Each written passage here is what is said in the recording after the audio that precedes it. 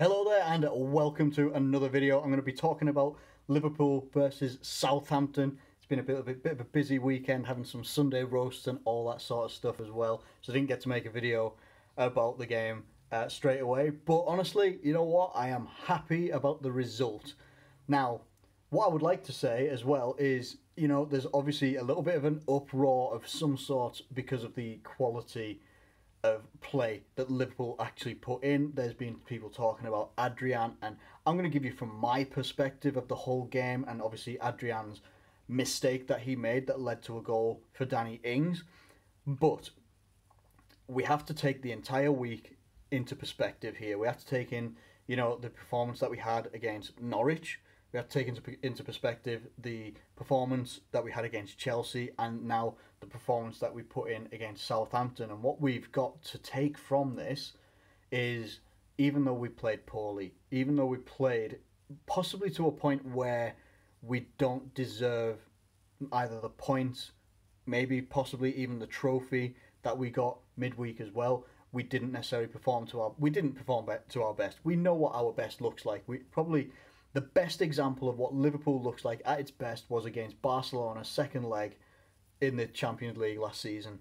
That is prob- that is us at our best. That is us at our most fluid, at our most impactful, our attacking best, our defensive best as well. That is what we look like. We don't look like that right now. Attacking wise, I think that we are we're getting there. I think that we're almost there. You're looking at where like the job that Bobby Firmino does, the job that Sadio Mane does, the job that Salah is doing, even though it's maybe not getting the end product that he deserves.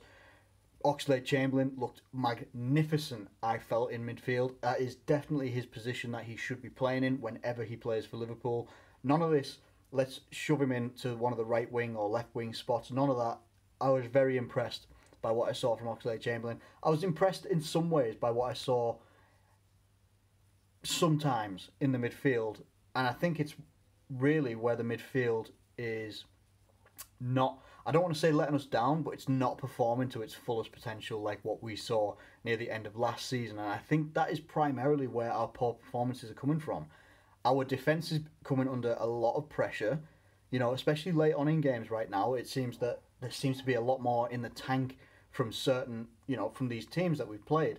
Chelsea seem to have an endless tank, and I'm watching Chelsea play right now um, against Leicester, and they're all over the pitch. They're everywhere. They are running, and it just seems like they've just got an endless tank at the moment. And I'm looking at it, and I think, is it purely down to the fact that we didn't really have the best? We didn't have the best preseason at all, and yet we've still come out with three wins out of three so far this season. Um, you know, is is that the primary thing that we just you know it's maybe going to take another week or two or three weeks until we become fully up to speed both defensively in the midfield and attacking wise and obviously when we get Alisson back as well. Is that going to be a contributing factor? I I personally believe it will be but I'm also happy to pick up these points as we've got them right now with these poor performances because it still shows that we've got the mentality to pick up these points. Where you know and pick up the trophy as well midweek. We've still got the mentality to go out there and get it. We've still got the forward players which yes the forward players are probably digging us out right now because defensively in the midfield um, you know which is letting us down right now. The the midfield is not control I've said it a lot last season that if you win your midfield battles, and it's it's a mainstay of modern football from you know 10, 20 years ago as well. If you win your midfield battles, then you will go on and generally either dominate or win that game, or both. You'll dominate and win the game. We're not winning midfield battles right now, and that has to be what the focus needs to be on. Because if we start winning the midfield battles and coming, you know, and making our midfield better perform better than the opposition, then it takes the pressure off the defence a little bit and they can actually focus on defending instead of what you're seeing is you're seeing Joel Matip going into midfield and making passes himself, you know, and he's striding through into midfield, almost playing as a midfielder himself, and then gets caught out of position because he's playing these these balls from midfield and stuff like that. You know, Trent Alexander Arnold hasn't always been switched on since the start of the season, and I'm hoping that that comes just with continuity of playing, playing more games, more minutes, because they haven't had the greatest preseason. They haven't had the longest preseason either.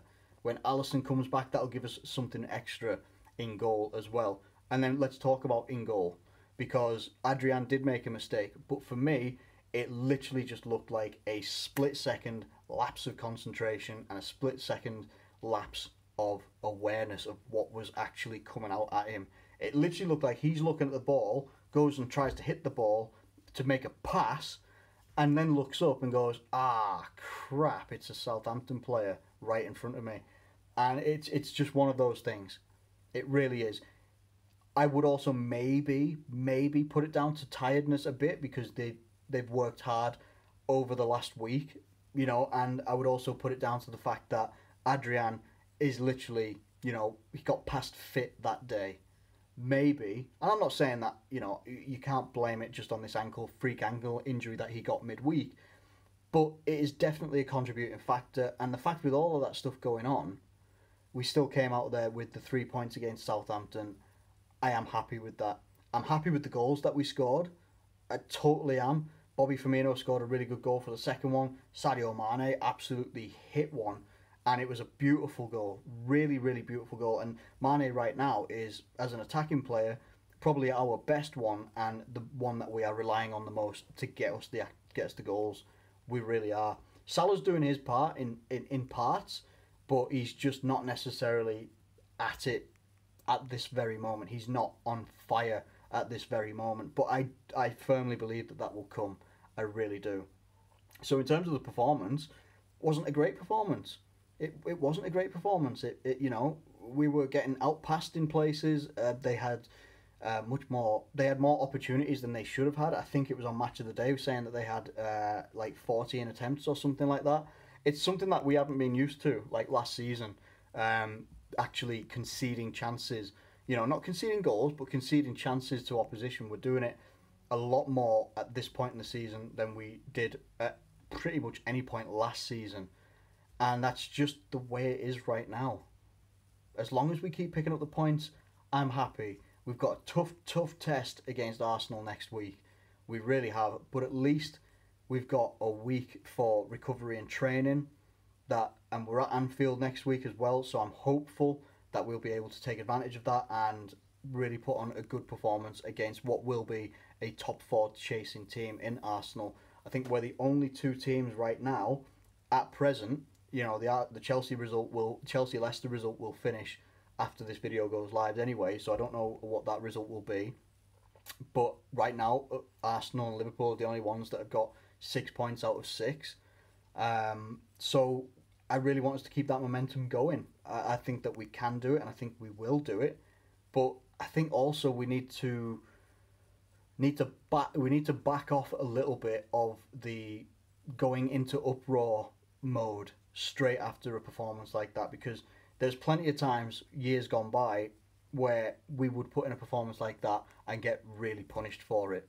Now the fact that Southampton would not have scored at all if Adrian didn't make that mistake we would have been looking at a 2 0 win and a clean sheet. You know, so I firmly and happily give Adrian a bye for that mistake, purely, mostly because we won the game in the end, um, despite the pressure that was put on us, but also because of how busy this last week has been, how taxing this week has been. We're going to have a tough week again, you know, coming up against Arsenal next week. That is going to be a tough game, but I'm hoping that within this, this week We'll start maybe see what how Naby Keita's doing as well, whether he can come into midfield, freshen up that midfield, and give a bit more intensity there. I'm just, you know, I'm much more looking at the hopeful side of Liverpool rather than just conceding into, oh my God, we're doing crap this year, we're not going to do anything, blah blah blah, and all that sort of stuff. I want to, I want to be hopeful, and Liverpool are giving us every reason to be hopeful with the fact that we're not playing well, and we're still picking up points. So hopefully, when we start actually clicking and playing really, really well, then things will continue to get better for us. But onwards and upwards, that that's all I can think of. You know, if we get a good positive result against Arsenal, then I'm happy again. You know, if we can pick up another three points against Arsenal, another top four rival, then I'm happy. But let me know what you think in the comments below. What are you thinking of Liverpool's situation right now?